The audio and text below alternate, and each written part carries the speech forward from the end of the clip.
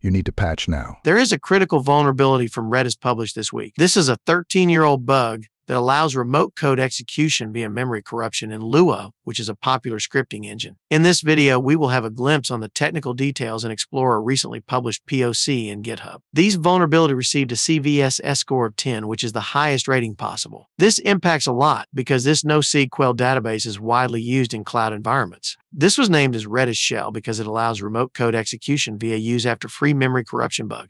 That is triggered using an exploit payload in Lua, which then allows escaping from the sandbox environment. As a more devastating effect, the attacker is given access to the host system. But what is a use after free? System memory is a scarce resource. Once a thread uses a chunk of memory, it should release it afterwards. That is important, so it will be available for the other threads. Now, if a thread tries to use a chunk of memory that was previously released and not intended for him, this is where use after free happens. It can have unexpected side effect or worse, it can crash the application. But attackers are leveraging this to insert malicious payload to trigger a code execution.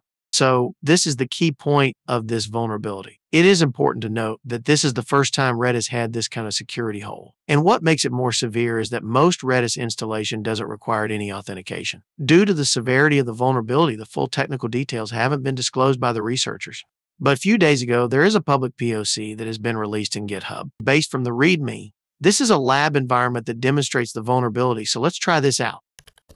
There is a Docker compose file, so we can just start the lab using this command.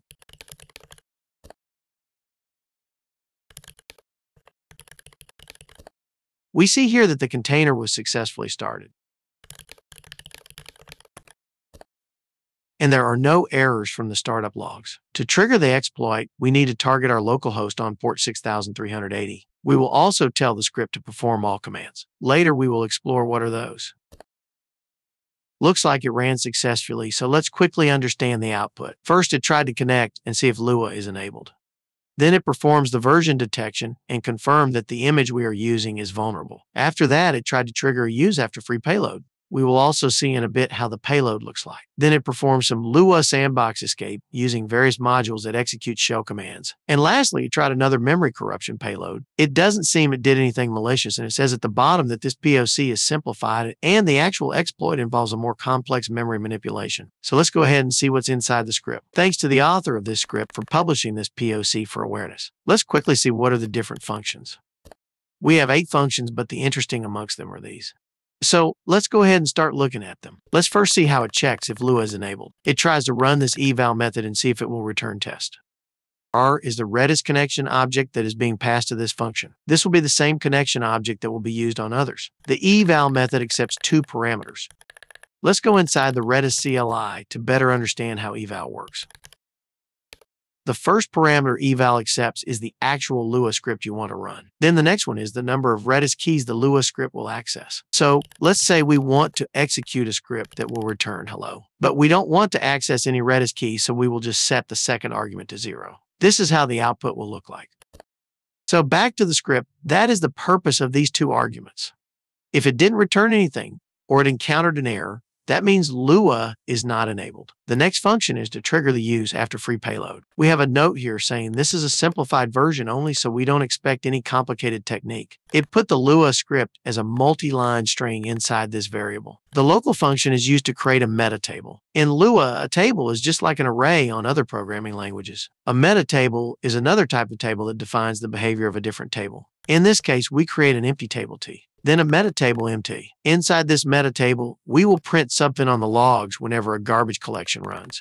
So in order to associate the empty table with our meta table, we will use the set meta table function. So this technique is just a way of executing something whenever an event is run. To trigger a garbage collection, we will use this function and run it inside a loop 10 times. At the bottom, we will run the whole local function by returning it. As we learned from the earlier section, we can run a Lua script using eval function, so this is what we are doing here. As you notice, the malicious code is very simple as it just prints something on the log file. Now let's see how this sandbox escape function works. So this checks if it can execute some shell commands inside the host system. We have here the different modules accepting various commands. If you notice the name of the modules is fairly similar with other programming languages like Python. In typical Lua installation, modules like OS are preloaded, meaning you don't need to import them explicitly. But in Redis, they remove those modules since they contain several dangerous functions. The demonstration on the lab environment contains a simplified payload, but in real exploit, we would see something like this.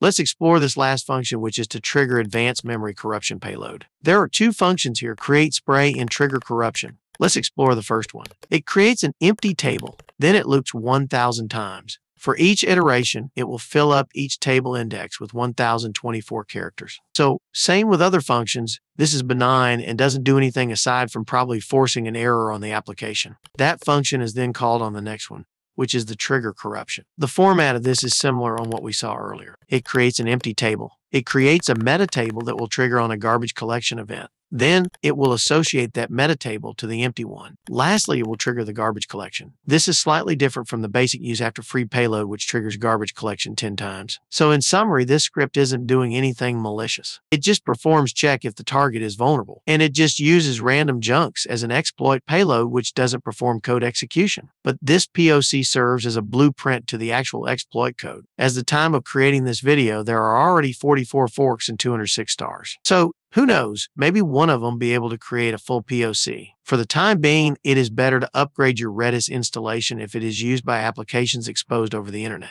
And we will wait for the full technical details from Wiz. I hope you learned something today. If you find my content valuable, please support me by liking this video and subscribing to my channel. See you on the next one.